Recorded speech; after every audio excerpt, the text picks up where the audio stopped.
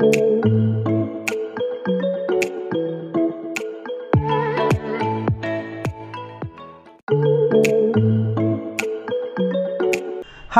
this is Ramesh Pujari from Success Academy, Jamkhandi. Dear students, do you think this video class is helpful for your future? Then don't miss to like this video and share the video links to your friends and last but not least, subscribe the channel and press the bell icon. Dear students, in our last part 5, we studied noun numbers and in this part 6, we are going to learn one of the important methods or steps to improve noun that is noun genders. That is noun genders. Dear students, you understood that what sense the gender? Genders is nothing but dividing the nouns as per male, female, common and neuter. I hope you understood what are the types of noun genders. The first one is masculine gender, masculine gender. Second one is feminine gender, feminine gender and the third one is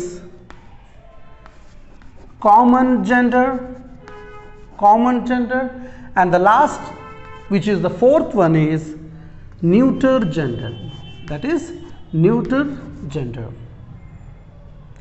Dear students when we come across that noun is a naming word at that time to differentiate them we studied noun types noun numbers and now we are studying noun genders. For example, in a class, boys are there, girls are there. Boys are called masculine genders, girls are called feminine genders. Teacher, for example, to teach English, Ramesh will come. To teach mathematics, Radha will come. So that time Ramesh or Radha, whoever come in the class to teach those subjects, we call them both teacher. So then teacher is called common gender because in common gender what happens my dear students, both these genders are included. Both these genders are included. So that's why it is called common gender and neutral gender means the objects which are non-living things. For example, this green board, this chalk piece, whichever are there the non-living things are considered in neutral genders. So, let me explain with the help of one example again. Masculine gender means the group of noun which are for only male. For example, father. For example, father. The now the group of noun which are belongs to the female those are called feminine gender. If we change the father to feminine it will become mother.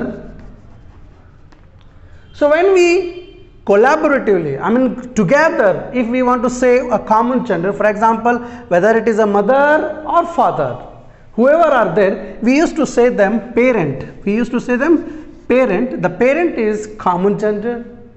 And neutral gender for example you can say bat bat or BALL ball. These all are noun and these are considered in neutral genders.